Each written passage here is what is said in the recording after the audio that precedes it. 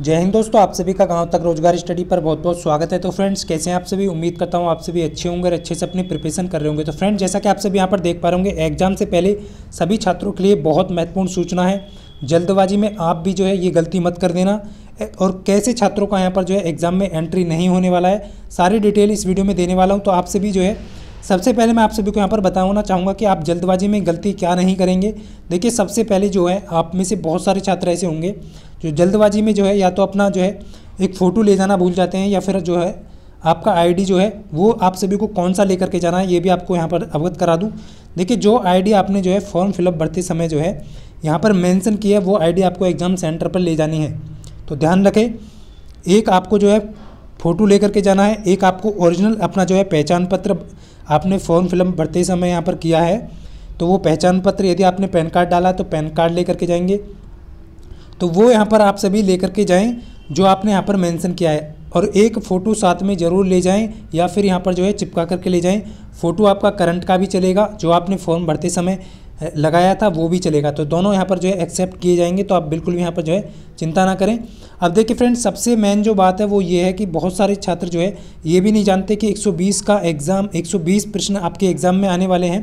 और यहाँ पर देखिए कुछ कैंडिडेट के यहाँ पर अभी भी कमेंट आ रहे थे कि नेगेटिव मार्किंग है या नहीं। तो देखिए यहाँ पर कोई भी नेगेटिव मार्किंग आपकी नहीं है। नब्बे मिनट में आपको जो एक सौ बीस क्वेश्चन जो है आपको यहाँ पर करने होंगे। अब देखिए फ्रेंड्स क्वेश्चन छोड़ें या सारे अटैम्प्ट करें, उसके बारे में भी कुछ कैंडिडेट के कमेंट आ रहे थे। देखिए सभी प्रश्नों को करने की कोशिश करें। जो प्रश्न आपको आते हैं, पहले उन प्रश्नों को आप अटैम्प्ट करें। उसके बाद जो बचे प्रश्न हैं, उन्हें आप ज़रूर करें। छोड़ने से बेहतर है कि आप सभी प्रश्नों के जवाब दें। क्योंकि आप सभी देख पा रहे होंगे यहाँ पर जो है कोई भी नेगेटिव मार्किंग नहीं है तो इससे आपका जो है नॉर्मलाइजेशन में कोई फ़र्क नहीं पड़ने वाला है। शिफ्ट के अकॉर्डिंग फ़र्क पड़ेगा तो वो शिफ्ट के अकॉर्डिंग आप यहाँ पर जो है नॉर्मलाइजेशन यदि यदि डी चाहेगा, वो उसने पहले ही बोला है, यदि आवश्यकता पड़ेगी तो हम नॉर्मलाइज करेंगे। तो नॉर्मलाइजेशन का जो है, यहाँ पर कुछ ज़्यादा इफ़ेक्ट आपका नहीं पड़ने वाला है। तो ये तो हो गया आपका एग्ज़ाम को लेकर के। अब देखिए फ्रेंड्स बहुत सारे छात्र ऐसे हैं, जो पहली बार एग्ज़ाम देने जा रहे हैं, उनके लिए भी यहाँ पर बता दूँ जितने भी छात्रों का एड, आईडी जो आपने आईडी मेंशन किया है, जो आप आईडी लेकर के जा रहे हैं, आपके एडमिट कार्ड के अकॉर्डिंग आपका उसमें डेट ऑफ़ बर्थ होना चाहिए। यदि आपका डेट ऑफ़ बर्थ सेम नहीं है आईडी में और आपके एडमिट कार्ड में तो आपको क्या होगा? गेट पर ही परीक्षा देने से रोक दिया जाएगा। तो जितने भी छात्र यहाँ पर जो है, मैंने इससे पहले आपको एक हिंट दी थी आधार कार्ड्स में आपको जो डेट ऑफ़ बर्थ गलत हो गया, उन छात्रों को सभी को मैंने एक हिंट दी थी। उसके अकॉर्डिंग वो छात्र जो है एग्ज़ाम में प्रवेश कर सकते हैं तो मैं आप फिर से उसको यहाँ पर जो है दोहराना नहीं चाहूँगा, क्योंकि बार बार जो है आपको इस डायरेक्शन में ले जाने के लिए मैं यहाँ पर नहीं कहूँगा। तो वो छात्र जिन्होंने उस वीडियो को देख लिया होगा, उन्होंने जो है अपना डेट ऑफ़ बर्थ यदि उनका गलत होगा तो बिल्कुल सही करा लिया होगा। अब देखिए जिन भी छात्रों का आने वाली शिफ्ट में एग्ज़ाम है तो उनको भी बहुत बहुत बहुत शुभकामनाएँ और जिनका कल एग्ज़ाम है, उनको भी एग्ज़ाम से पहले बहुत बहुत शुभकामनाएँ। अब देखिए, जो छात्र पहले बार एग्ज़ाम दे रहे हैं, उनके लिए कुछ मैं यहाँ पर हिंट देना चाहूँगा। तो देखिए फ्रेंड सबसे पहले मैं यहाँ पर जो है, जो छात्र नए हैं, उनको भी बताना चाहूँगा और जो छात्र जो है, दोबारा एग्ज़ाम देने वाले हैं, उनको भी बताना चाहूँगा। कि एग्ज़ाम शुरू होने से पहले जो है आपको बायोमेट्रिक कराना होगा सभी को। तो बायोमेट्रिक बिना बायोमेट्रिक के कोई भी कैंडिडेट यहाँ पर नहीं रहेगा।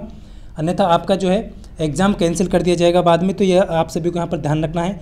आपकी ये ज़िम्मेदारी बनती है कि आपको जो है बायोमेट्रिक कराना है। उसके बाद फ्रेंड्स देखिए एग्ज़ाम स्टार्ट होने से पहले जो है, जैसे आप कंप्यूटर बैठेंगे तो वहाँ पर लॉगिन करेंगे, आप पासवर्ड डाल करके, वो आपको सब बता दिया जाएगा एग्ज़ाम सेंटर पे। देखिए, उससे पहले जो है एग्ज़ाम स्टार्ट होने से पहले आपका जो है, दो से चार प्रश्न का आपको पहले मॉक टेस्ट देना पड़ेगा। ये आप सभी को ध्यान रखना है। आप सभी उस मॉक टेस्ट में ध्यान रखना कि टाइमिंग जो होगा, उसका कम होगा और उसमें लगभग चार से पाँच प्रश्न आपको मिलेंगे मॉक टेस्ट में। तो उसे आप जल्दी से मॉक टेस्ट को देंगे और उसके बाद सबमिट करके जो है, आप मेन एग्ज़ाम के अंदर जो है प्रवेश करेंगे। ये डी का पहले से ही रूल है तो आप सभी को ध्यान रखना है। उसके बाद फ्रेंड्स सबसे मेन जो है देखिए, अब आप में से बहुत सारे छात्र ऐसे होंगे जो मैथ पहले करना चाहेंगे, कुछ छात्र ऐसे होंगे जो रीजनिंग पहले करना चाहेंगे, कुछ छात्र ऐसे होंगे जो आपका जो है जीएस पहले करना चाहेंगे। तो देखिए, यहाँ पर जो है अलग अलग पार्ट में जो है आपका एग्ज़ाम मेंशन रहेगा, यानी कि अलग अलग पार्ट आपको मिलेंगे। तो आप जो पहले करना चाहते हैं, उसको सिलेक्ट करिएगा। ऊपर की कॉर्नर में आपको जो है कॉर्नर करके दिया होगा, उस पर जो है अलग अलग से part first, part second, GS उसमें तो उस पर आप क्लिक करके जो है उस पार्ट को अटैम्प्ट कर सकते हैं। और जैसे आप जिस भी प्रश्न को अटैम्प्ट करेंगे, उसमें आपका प्रश्न जो है वो आपका ग्रीन कलर का हो जाएगा। तो इस चीज़ का विशेष ध्यान रखें, मैं आप सभी को यहाँ पर दिखा देता, अभी जो है यहाँ पर मॉक टेस्ट ओपन नहीं हो रहा है, कोई एरर की वजह से जो है, अन्यथा मैं आप सभी को दिखा देता। तो उम्मीद करता हूँ फ्रेंड्स, ये सारी जानकारी आप सभी को देनी थी। आईडी साथ में लेकर के जाएँ, अपना फ़ोटो साथ में लेकर के जाएँ तो यह, ये चीज़ें आपने जो है, ज़रूर साथ में लेकर के जाएँ। ये सारी गलतियों से आप सभी को बचना है, जो भी मैंने आप सभी को बताया है, जल्दबाजी में आप ये गलती कर जाते हैं। तो ये सारी डिटेल आप सभी को देनी थी। उम्मीद करता हूँ फ्रेंड्स, और जितने भी छात्र एग्ज़ाम देने जा रहे हैं, सभी को बेस्ट ऑफ़ लक। एग्ज़ाम की बहुत बहुत शुभकामनाएँ। तो ये सारी डिटेल आप सभी को देनी थी।